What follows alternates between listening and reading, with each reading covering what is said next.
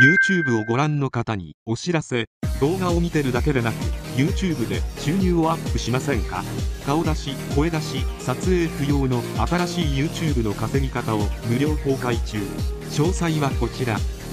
在韓国日本大使館は自衛隊創設61周年記念行事を来月10日別所功労中間大使公邸で開催することが28日分かった。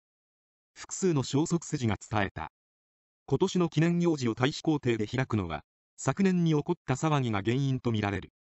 昨年は創設60周年の節目を迎えソウル市内のロッテホテルで大規模に行う計画だったがホテル側が行事前日大使館側に会場提供の取りやめを通告し大使館邸に変更された。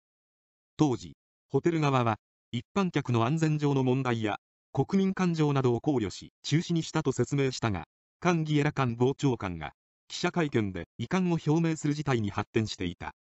韓国の政府筋は今年は国交正常化50周年を迎え両国関係に配慮したと思うと述べた。ソウルと東京で開かれた国交正常化50周年記念行事にパク・クンヘパク・クネ大統領と